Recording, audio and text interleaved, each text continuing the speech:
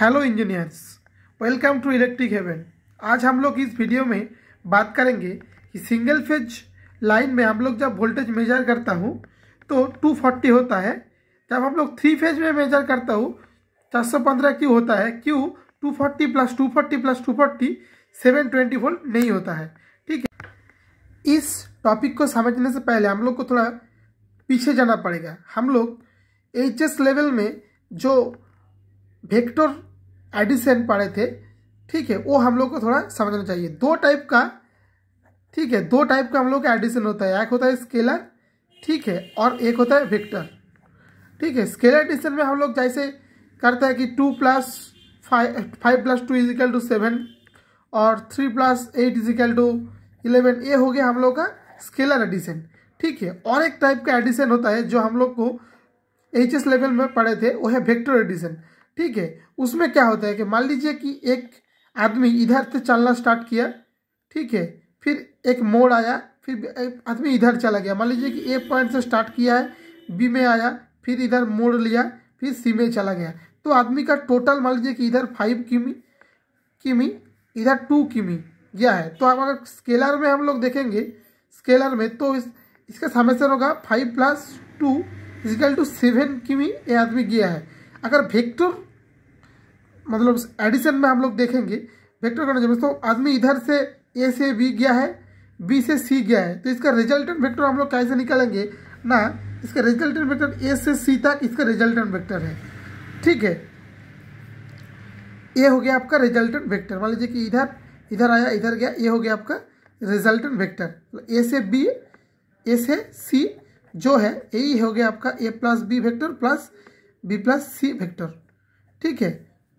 ये हो गया रिजल्टेंट वेक्टर इसी तरह, जब हम लोग कोई सिंगल फ़ेज़ सिस्टम में वोल्टेज मेजर करता हो तो मान ए थ्री एफ़ मान लीजिए कि three phase four wire system इसमें हम लोग कोई एक फ़ेज़ का वोल्टेज मेजर करेंगे तो मल्टीमीटर को आर और एन के बीच में मतलब आर फ़ेज़ और न्यूट्रल के बीच में जब हम लोग मल्टीमीटर लगाएँगे तो इधर टू फोर्टी वोल्ट दिखाएगा और जब हम लोग दो फ़ेज़ के अंदर दिखाए मल्टीमीटर लगाएँगे आर और वाई के बीच में तो 415 वोल्ट दिखाता है।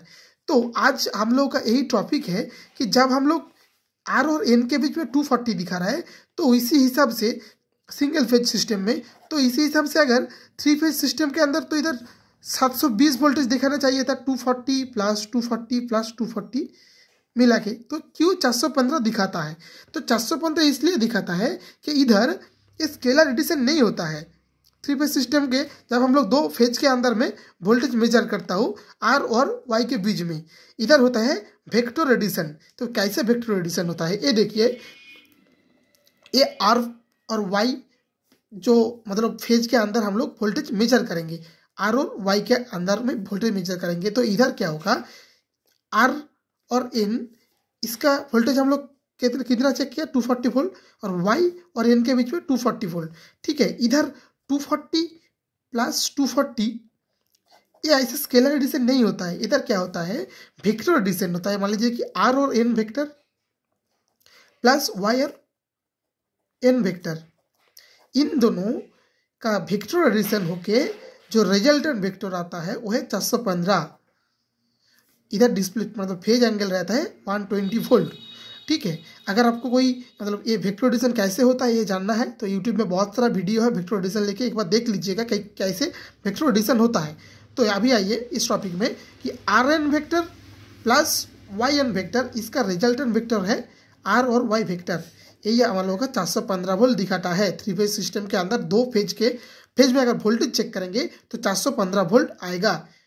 अगर कोई इंटरव्यू में आपको क्वेश्चन पूछा जाएगा कि थ्री फ़ेज़ सिस्टम में कैसे चार सौ पंद्रह वोल्ट दिखाता है? तो आपको टू द पॉइंट आंसर देना है कि इधर स्केलर एडिशन नहीं होता है, इधर वेक्टर एडिशन होता है, इसलिए थ्री फ़ेज़ सिस्टम में दो फ़ेज़ के अंदर वोल्टेज चार सौ पंद्रह वोल्ट दिखाता है। यही था आज हम लोग का टॉपिक तो ऐसे इलेक्ट्रिकल रिलेटेड इंटरेस्टिंग वीडियो देखने के लिए हमारे चैनल इलेक्ट्रिक हेवन को सब्सक्राइब कीजिए। अगर वीडियो अच्छा लगे तो लाइक कीजिए फ्रेंड के लोग शेयर कीजिए। ठीक है थैंक यू